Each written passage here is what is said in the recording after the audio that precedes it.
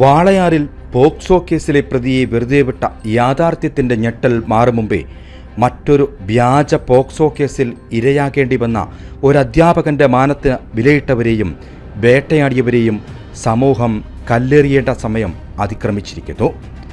നാണം കെട്ട നെറികെട്ട രാഷ്ട്രീയ പ്രവർത്തനത്തിന് ചുക്കാൻ പിടിക്കുന്ന വേട്ടപ്പട്ടികളുടെ പകപോക്കൽ ഒരധ്യാപകനു നേരെ പോലും പ്രയോഗിക്കുമ്പോൾ ആവനാഴിയിലെ അസ്ത്രങ്ങൾ തീർന്നുപോയോ കുട്ടി സഖാക്കളെ എന്ന് എസ് എഫ് ഐയോട് ചോദിക്കേണ്ട സമയം വിദൂരമാകില്ല. Kannur Iritty Kakkayangad Pala government higher secondary സ്കൂളിലെ അധ്യാപകൻ എ കെ ഹസൻ മാസ്റ്ററെ തളയ്ക്കാൻ എസ് എഫ് ഐ തിരഞ്ഞെടുത്ത ആയുധം പോക്സോ എന്നോർക്കുമ്പോൾ ക്യാമ്പസുകളിൽ എസ് എഫ് ഐയെ എങ്ങനെ പ്രവർത്തിക്കണമെന്ന് കൂടി പഠിപ്പിക്കേണ്ടിയിരിക്കുന്നു.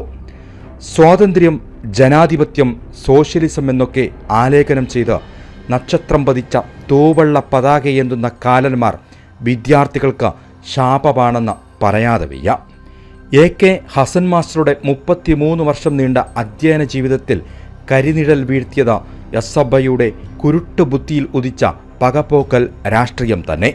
അതിന് എസ് എഫ് ഐ തിരഞ്ഞെടുത്തത് നാല് വിദ്യാർത്ഥിനികളെയും. രണ്ടായിരത്തി ഇരുപത്തിരണ്ടിലാണ് ഹസൻ മാസ്റ്റർക്കെതിരെ നാല് വിദ്യാർത്ഥിനികൾ സ്കൂൾ കൗൺസിലിൽ മുമ്പാകെ പരാതി നൽകിയത്.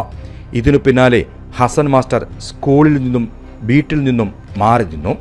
രണ്ടായിരത്തി ഇരുപത്തിരണ്ട് നവംബറിൽ ഒരു കൂട്ടം ആളുകൾ ആയുധങ്ങളുമായെത്തി ഹസൻ മാസ്റ്ററുടെ വീട് ആക്രമിച്ചു ഒടുവിൽ പോക്സോ കേസിൽ കുട്ടികളുടെ പരാതി അടിസ്ഥാനമാക്കി ഹസൻ മാസ്റ്റർക്കെതിരെ സ്കൂൾ കൗൺസിൽ നൽകിയ റിപ്പോർട്ട് പ്രകാരം പോലീസ് കേസെടുക്കുന്നു. രണ്ടായിരത്തി ഇരുപത്തിമൂന്ന് മാർച്ച് പത്തൊമ്പതിന് ഹസൻ മാസ്റ്റർ പോക്സോ കേസിൽ അറസ്റ്റിലാകുന്നു. മുപ്പത് ദിവസം Hasan master Kannur special sub ജയിലിൽ തടവിൽ കഴിഞ്ഞു. ഒടുവിൽ ഹസൻ മാസ്റ്ററുടെ നിരപരാധിത്വം കോടതി വിധിയിലൂടെ പുറത്തു വന്നപ്പോൾ പരാതി നൽകിയ ഒരു വിദ്യാർത്ഥിനി മാഷിനോട് കാൽ തൊട്ട് മാപ്പ് പറഞ്ഞു.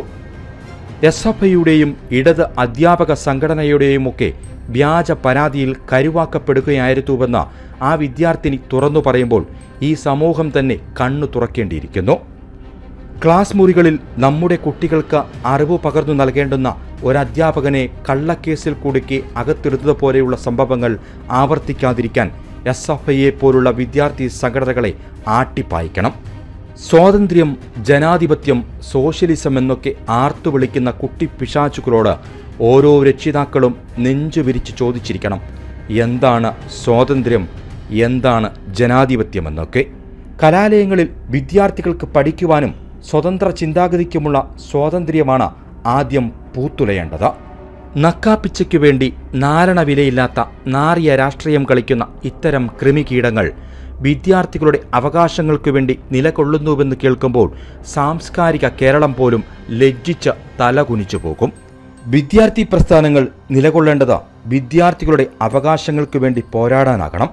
അല്ലാതെ പകപോക്കൽ രാഷ്ട്രീയത്തിന് കുട ചൂടാനാകരുത് എന്ന് ഒരിക്കൽ കൂടി ഓർമ്മപ്പെടുത്തുകയാണ് ഹസൻ മാസ്റ്റർക്കെതിരെ എസ് എഫ് ഐ നടത്തിയ വേട്ടയാടലും കോടതി വിധിയുമൊക്കെ. News desk Vismaya news.